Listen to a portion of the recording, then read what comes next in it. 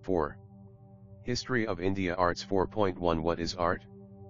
4.2 Indian Traditions of Visual Arts 4.3 Indian Traditions of Performing Arts 4.4 Art, Applied Art, and Professional Opportunities 4.1 What is art? It is a natural human instinct to want to share his experience, wisdom, and also emotions. When that instinct results in a beautiful creation, it is acknowledged as art. The artist's power of imagination, sensibility, state of emotion and his skills are the crucial factors at the root of artistic creation.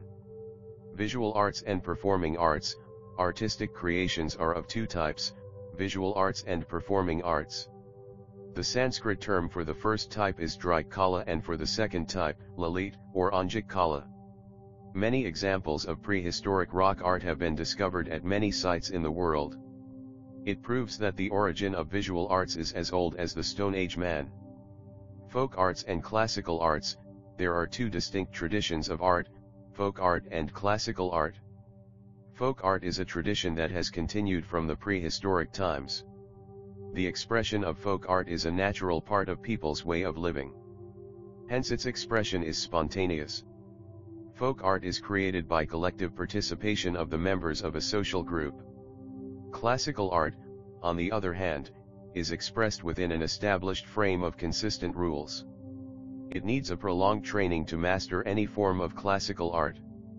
Style in art, artists tend to have their own method of working. It is known as the style of the artist.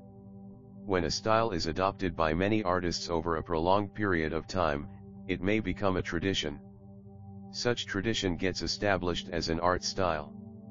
Various art styles develop in every culture, which are characteristic of a certain period and region. Such styles are helpful in studying art history. 4.2 Indian traditions of visual arts, Dry Kala, the art of painting and sculpting are visual arts. Maratha style of painting, Maratha paintings is an example of art style. The style known as Maratha paintings began to develop in the latter half of the 17th century CE. This style consists of colored paintings and they occur as murals and also miniatures used in manuscripts. Murals of Maratha style can be seen in the old Wadas at places like Wai, Menavali and Satara in Maharashtra.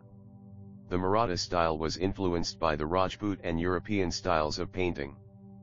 Painting styles help us in understanding various things about the times in which it was developed such as the lifestyle, attires, customs, etc. 22 Art of painting, paintings are two-dimensional, for example, sketches or paintings of nature, objects, and individuals.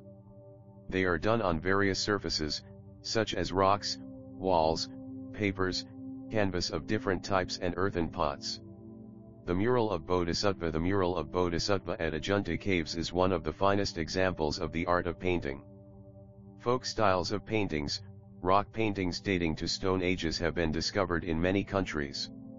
In India, there are rock painting sites in the states of Madhya Pradesh, Uttar Pradesh, Bihar, Uttarakhand, Karnataka, Andhra Pradesh, and Telangana. The rock paintings in the caves at Bhimbetka are famous. Bhimbetka is a World Heritage Site. Rock paintings usually depict human, animal, and geometric figures. However, the style of rock painting seems to be changing according to the cultural changes from Stone Ages to the beginning of agriculture. The change is visible in the depiction of flora and fauna or it may be evident in the style of portraying various figures and also in the colors that were used. Black, red and white colors were used in the rock paintings, which were made from natural substances. With the help of rock paintings we can understand the knowledge of ancient people about their natural surroundings and also the way they exploited available natural resources. The tradition of folk style of paintings closely resembles the style of rock paintings. Customs such as decorating the house walls and courtyards, Rangawali, by drawing various figures and symbols or using panels of paintings to narrate stories help to develop regional styles of folk paintings. Do you know? The traditions of Warli painting and Pingal or Chitrakathi in Maharashtra are among the finest examples of folk style of paintings. Jivya Soma Mashe, the artist in Thane district has played a great role in making the Warli style of paintings very popular. He has been honored with a number of national and international awards for his paintings. In the year 2011, he was awarded Padma Shri. It is interesting to know, the tradition of Chitrakathi is mentioned in Manasollasa, a book written by the Chalukya king Someshvara in the 12th century CE. It confirms the antiquity of this tradition. The tradition of narrating stories from Ramayana or Mahabharata with the help of wooden 23 puppets and paintings is known as Chitrakathi or Pinguli tradition.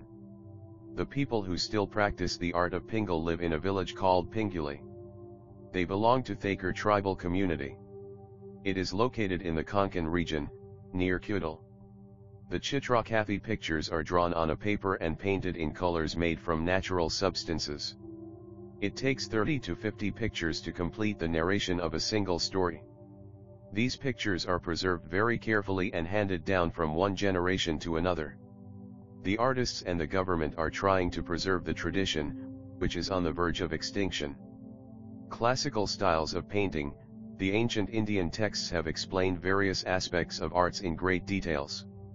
There are altogether 64 arts mentioned in these texts. The art of painting is mentioned as Alekyam or Alekya in these. It is said to have six main aspects, Shatanj. The ancient Indian scholars studied these six aspects very minutely. They include, Rukpita, different shapes and forms, Pramana, proportionate depiction of various features of an image, Bhava, expressions, Lavanyayojana, aesthetics, Sadrushyata, a resemblance to reality, Varnakabhang, color composition. Agama texts of various religious sects, Puranas, and Vastushastra texts explain the arts of painting and sculpting in the context of temple architecture. Miniature paintings in manuscripts, the miniature paintings in the early manuscripts show an influence of Persian style. The Deccan miniature style was developed under the patronage of the Deccan Sultanates. During the reign of Akbar, the Mughal emperor, the Mughal miniature style showing a blend of Indian and Persian styles was developed. Western style of painting, in the British period Indian artists came under the influence of European style of Mughal miniature painting. An art school was established under the leadership of James Wales, a Scottish artist, in the times of Sawai Madhavrao Peshwe in Shaniwar in Pun he had done a portrait of Sawai Madhavrao and Nana Fadnavis. Gangaram Tombat, a Marathi artist who worked with Wales deserves a special Sawai Madhavrao and mention here. He Nana Fadnavis Gangaram Tombat with his guru had made drawings of the rock-cut caves at Verul and Carl. Some of his drawings are preserved in the Yale Center of British Art of Yale University. Exact portrayal of the object of the painting is characteristic of the European 24 style. A number of renowned artists were trained in the JJ School of Art and Industry, which was established in 1857 CE, offering courses in European style of painting. Pestanji Bomanji, an alumni of this school made replicas of Ajanta paintings. Sculptural art, sculptures are three-dimensional, such as images, statues, pots and objects with artistic embellishment. For creating sculptures either rock or metal or clay is used. Rock sculptures are made by carving, metal sculptures are made with the help of molds and clay sculptures are formed either directly with hands or by using molds. The entire Ashokstam temple of Kailasa at Verul is a unique monolithic sculpture, carved out of a single rock. The lion capital of the Asokan pillar found at Sarnath, is the national emblem of India. Folk styles of sculptural art, the sculptural art is also as ancient as the art of painting, dating back to Stone Ages. Carving tools out of stone can said to be the beginning of sculptural art. The custom of making clay images for rituals has been prevalent in India since Harappan times. It has continued till today in many regions like Bengal, Bihar, Gujarat, Rajasthan, etc. The Ganesha idols, masks of Gauri, bull figurines made for the festival of Bail Pola, wooden memorials, beer gals, memorial stones, the decorated clay storage bins, etc. are a few examples of the folk traditions of sculptural art. Classical styles of sculptural art, the Harappan seals, stone and bronze statues tell us about the 5,000 years old or even older tradition of the Indian tradition of sculptural art. It is said that the tradition of carving out stone sculptures of larger size began in the Mauryan period with the Asokan pillars. The Sanchi stupa was erected in Emperor Asoka's time. However, the beautiful sculptural embellishments of the stupa are supposed to be later additions. The sculptures at Bharhut are testimonies of the continuous development of sculptural art in India. Buddhism was spread far and wide, in many countries outside India. The tradition of erecting Buddhist stupas began in Bharhut stupa those countries as well. The stupa at Borobudur in Indonesia is the largest stupa in the world. It was built during the 8th to 9th century CE.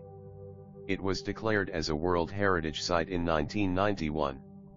Borobudur Stupa Indian iconography, the Gandhara school of art came into being in the 2nd century BCE in Afghanistan and neighboring regions. It had Greek and Persian influence. The 1st to 3rd century CE, that is the Kushana period, saw the rise of Mathura school of art. The Mathura school laid the foundation of Indian iconography. Iconography is a branch of knowledge which includes everything about making 25 of images of gods and goddesses. The Kushana kings made use of images of various deities on their coins. During the period of Gupta Empire the iconographic rules were formulated Nataraja and standards for sculptural art were set. The art of making bronze images was developed under the patronage of Chola kings during 9th to 13th century. Bronze idols of gods and goddesses like Sivaparvati, Nataraj, Lakshmi, Vishnu, etc. were made in this period. Architecture and sculpture, there are a number of rock-cut caves in India. The tradition of rock-cut caves originated in India in the 3rd century BCE technically the entire composition of a rock-cut cave represents a union of architecture and sculptural art. Its entrances, interiors with its carved columns and images are excellent specimens of sculptural art. The paintings on the walls and ceiling have survived in some of the caves till today. The rock-cut caves at Ajanta and Verul in Maharashtra were declared as World Heritage in 1983. The temple architecture in India began to develop around 4th century CE during the Gupta period. The temples built at the beginning of the Gupta period had only the sanctum sanctorum, garbhagriha, and a veranda with four columns. The temple architecture in India had reached its peak by the 8th century CE. This is easily testified by the magnificent composition of the Kailasnagara style temple of Verul. By the medieval period various styles of temple architecture had developed in India. The styles of temple architecture are identified by the style of the tower, Shikhara. The Nagara style of North India and the Dravida style of South India are the two principal styles of Indian temple architecture. A blend of these two styles is known as Vesara style. The Bhumija style seen in Madhya Pradesh and Maharashtra has a close resemblance to the Nagara style from the structural viewpoint. In the Bhumija style, series of miniature towers are arranged, which become smaller toward the top. Hence, the tower appears to be continuously rising from the base of the temple to the top. Ajanta Cave, number 19 entrance 26 Dravida style Gopura It is interesting to know, temples in Maharashtra built in 12th to 13th centuries are known as Hemadpanti temples. The outer walls of Hemadpanti temples are built in a star shape. In the star-shaped plan, the outer walls of the temple has a zigzag design. This results into an interesting effect of alternating light and shadow. The important characteristic of Hemadpanti temple is its masonry. The walls are built without using any mortar, by locking the stones by using the technique of tenon and mortise joints. The Ambreshwar temple at Ambernath near Mumbai, Gondeshwar temple at Sinnar near Nashik, and Hanagnath temple in the Hingoli district are a few finest examples of the Hemadpanti style. Their plan is star-shaped. The Hemadpanti temples are found at several places in Maharashtra. Bijapur in Karnataka are the world-famous examples of the Islamic architecture of India. The construction of the building of Qutub Minar started during the reign of Qutbuddin Aibak, 12th century CE, and was completed in the reign of Altamash, 13th century. Qutub Minar is the highest minaret in the world. It is 73 meters, 240 feet, in height. The Qutub Minar complex of buildings has been declared as a World Heritage. Gondeshwar Temple, Sinnar Qutub Minar The Mughal Emperor Shah Jahan built Taj Mahal in the memory of his queen Mumtaz Mahal. The Taj Mahal is looked upon as the paramount example in the medieval period, under the patronage of Muslim sultanates many styles of architecture, such as Persian, Central Asian, Arabic and pre-Islamic native Indian styles were blended together creating the Islamic architecture of India. Many beautiful buildings were created. The Qutub Minar at Mehrauli near Delhi, Taj Mahal at Agra, Gol Gumbaz at 27 Taj Mahal of the beauty of Islamic architecture in India. This world-famous building has been declared as World Heritage by UNESCO. Chhatrapati Shivaji Maharaj Railway Terminus, Mumbai is the finest example of the Indo-Gothic architecture and it is a World Heritage Site. The Gol Gumbaz at Bijapur in Karnataka was built in the 17th century CE. This grand building houses the burial of Muhammad Adil Shah of Bijapur. Inside the dome, after which the building is named, there is a round gallery.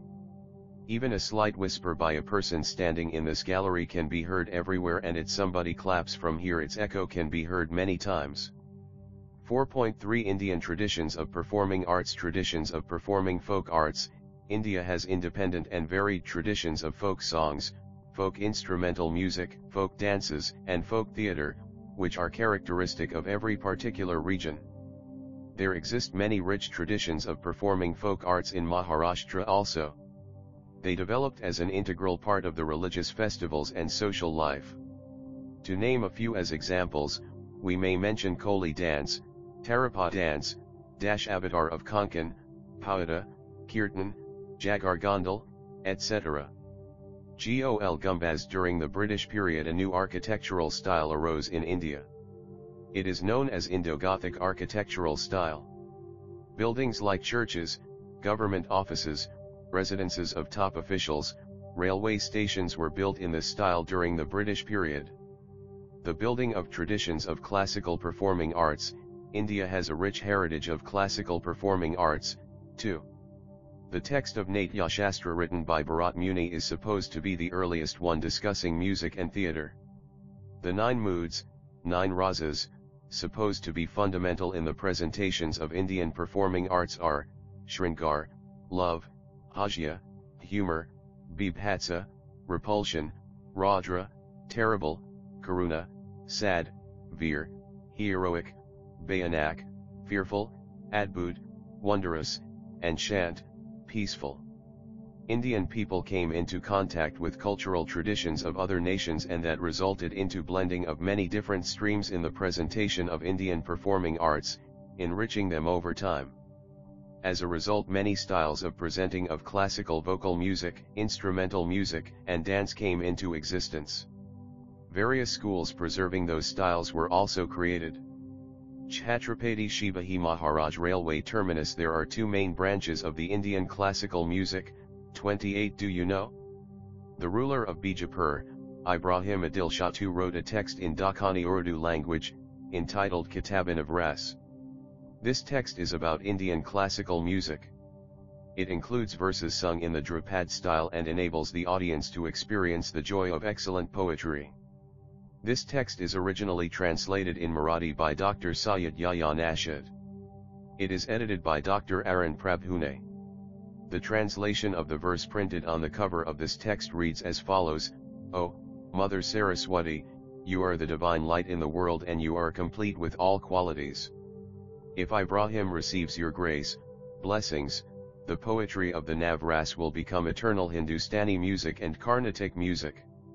Similarly there are two forms of it, classical, Shastriya, and semi-classical, Upshastriya. The semi-classical has included many styles of folk music. A beautiful blend of all three forms of music, vocal, instrumental and dance can be seen in various Indian classical dance forms like Kathak of North India, Lavani of Maharashtra, Odissi of Odisha, Bharatnatyam of Tamil Nadu and Kathakali and Mohiniyattam of Kerala. Lavani, Maharashtra Kathakali, Kerala in India in the post-independence period various festivals of music and dance are organized with a view to make it accessible to common people. Many people attend these festivals, including Indians and foreigners alike. The Sawai Gandharva festival of Pun is a famous one. Lately, we can see an inclination toward experimenting and creating fusion of various music styles, by trying to overcome the limitations imposed by a traditional style or school. Pandit Uday Shankar is a prominent name among such artists who created a new style. He successfully created a fusion of Indian classical dance and European opera. He 29 also included various forms of folk dance in his style. Thus the scope of the presentation of Indian performing art seems to be constantly expanding. The same phenomenon is apparent in the field of Indian visual arts. 4.4 Art, Applied Art, and Professional Opportunities Arts, Art history is an independent branch of knowledge. Various opportunities of research are available in this field. 1. Art historians can work in the field of journalism. 2. Art market is an independent field. It calls for special expertise to assess the exact value of an art object or to ensure that it is genuine. An expert with deep understanding of art history is required for this task. 3. Heritage management and cultural tourism are recently developed fields. In these fields students of art can find many professional opportunities. Museums and archives management, library science and information technology, archaeological research, Indology are some important fields in this regard. Applied art, the visual and performing arts are primarily looked upon as the means of entertainment for people. The artist performs primarily with this purpose. However, there is a scope to combine an artistic creation with utility value to make it economically viable. Thus an artistic creation with a utilitarian purpose is called applied art. 1. Industry and advertisement, interior design and production of ornamental object, art design of stage backdrops, Nepathya, art direction for films and television, creating attractive layouts of books, magazines, calligraphy, production of greeting cards, invitation cards, customized stationery, gift objects, etc. are the fields of applied arts.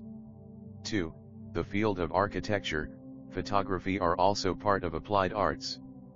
Nowadays, still and animated graphics created with the help of computers are used for various purpose. This is also applied art. Ornaments, artistic creations of metals, earthen pots with colorful designs, objects made from cane and bamboo, beautiful glass objects, attractive textiles, and clothing, etc. all can be listed under applied arts.